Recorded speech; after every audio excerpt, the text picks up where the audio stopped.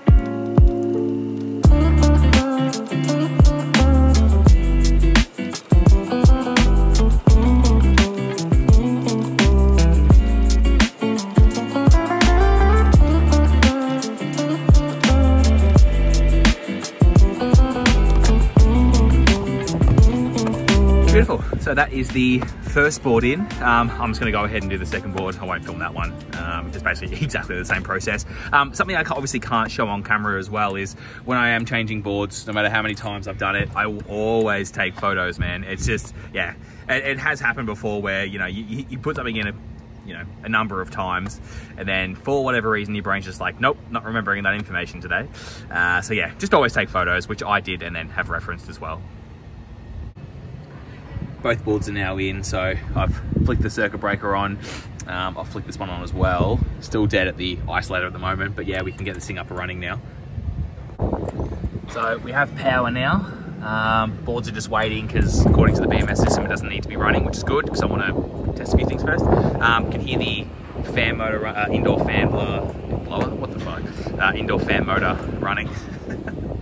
Um, but yeah we'll go through now and just make sure um, everything looks good before we turn off the BMS and make sure it runs. I'm just gonna go through and hit this uh, button down here just to make sure that, you know, the readings from the board look okay. So we'll go through, oops, I'm trying to get a better position. Yep. Evap temperature, 17. Suction line temp, 17 superheat 0 discharge line pressure. Yep. Yep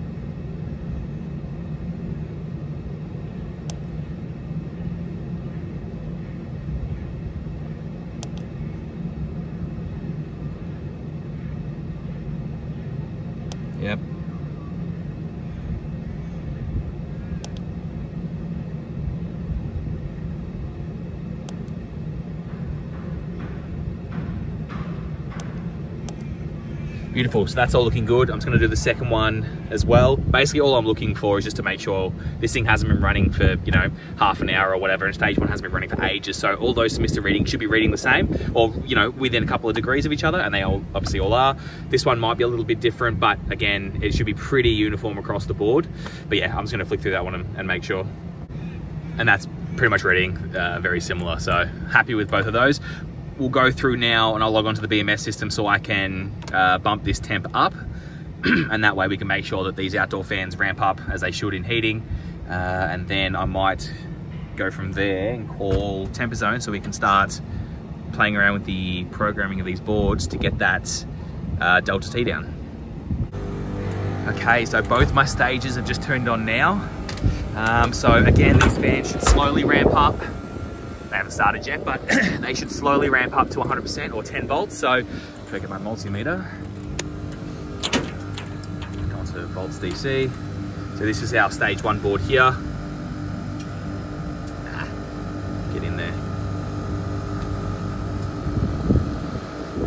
Okay, so currently it's got nothing, but those fans should turn on in a minute.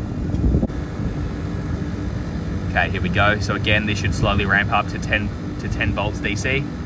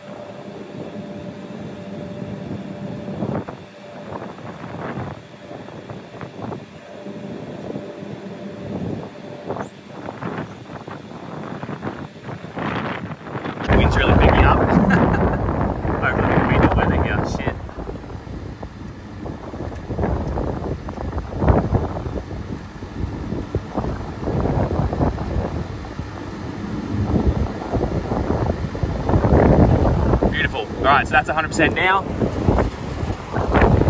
Check stage two or board two. We'll just do it off the board here because the other fan board's behind the, there we go. All right, beautiful. So they're both now running up to 100%. That's exactly what we want to see. Awesome. Man, those clouds don't look great. Um, we might have to rush on this one to try to get that, uh, try to get this thing programmed there. I don't know if I said it in the other video or if I've said it already in this video, but with the UC8 board, so the UC6, the UC8, they will use that 0 to 10 signal for the fans. Um, and in heating mode, Temperzone say that these fans should be running 100%, so 10 volts. Um, when it's in cooling mode, so you've got your condenser, or this these fans are controlling your condenser temp, then it's trying to modulate to control, I think it's a 38 degree um, condensing temp. Um, but yeah, in, in, in heating mode, so your evaporator's outside, or these fans are controlling your evaporator, they should be running at 100%. Okay, scrap everything I just said about going into the boards and reprogramming it because you, so, yeah, sometimes tech support can be great, other times it just is a real pain in the ass. So I called up uh, Temperzone the last time, not about these boards, it was about something else, and they were saying that um, because I, I, was basically reading their manual and the only thing I could ever find was that it was trying to maintain a 38 degree head temp, right? Which is, it's a target. It's not gonna, it's not gonna maintain a 38 uh, degree condensing temp on a 35 degree day. It's just not gonna do that.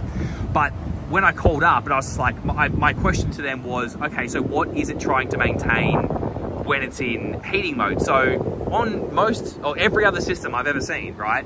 You've got your condensing temp on the outside, right, might be, say, say, let's say it is 38 degrees, right? But it's got two massive coils to do that and two massive fans. The indoor coil's probably half the size of that, maybe, maybe a bit bigger than that, right? And it's got one fan. There's no way that that thing is gonna be able to maintain a 38 degree temp. But anyway, this particular guy said that that's what it was, and I'm like, okay, fine. So he said to call up once I'd done the board changes and they'll go ahead and reprogram it.